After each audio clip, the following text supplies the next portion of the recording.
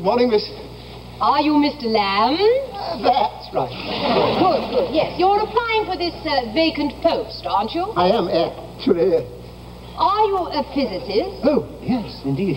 It's my whole life. Oh, jolly good. Now, our procedure is that before we discuss the applicant's qualifications, we like to subject him to a little test to determine his psychological suitability. You've no objection. Oh, good heavens, no. Oh, good, good. Now, won't you sit down? Now,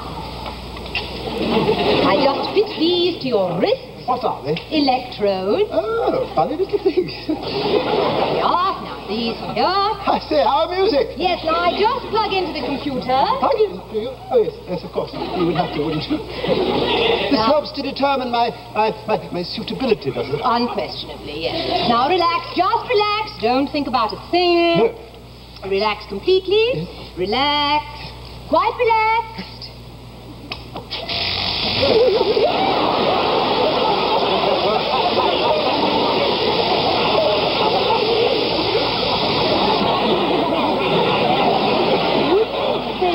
an excitable person?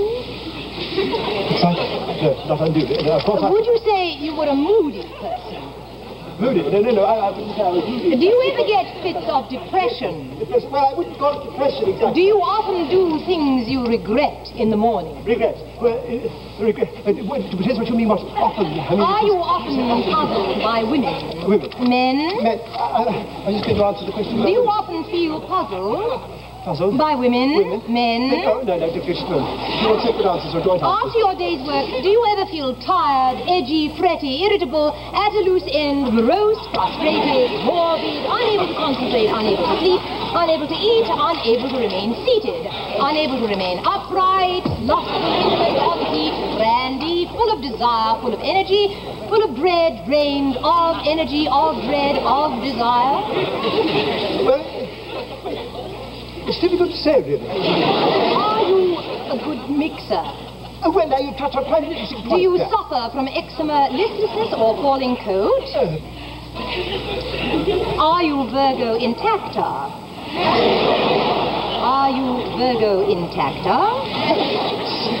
It's rather embarrassing. Are you Virgo intacta? I beg your pardon, I make no boast of it. Have you always been Virgo intacta? Always. Uh, From the word go? Go. Oh. Do women frighten you? Hmm.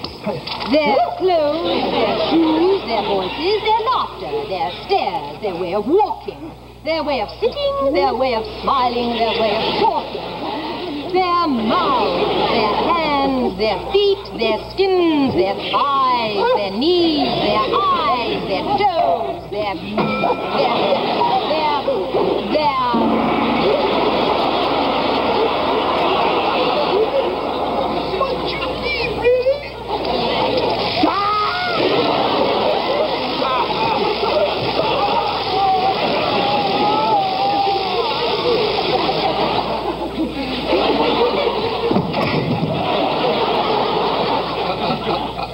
Thank you very much, Mr. Lamb. We'll let you know.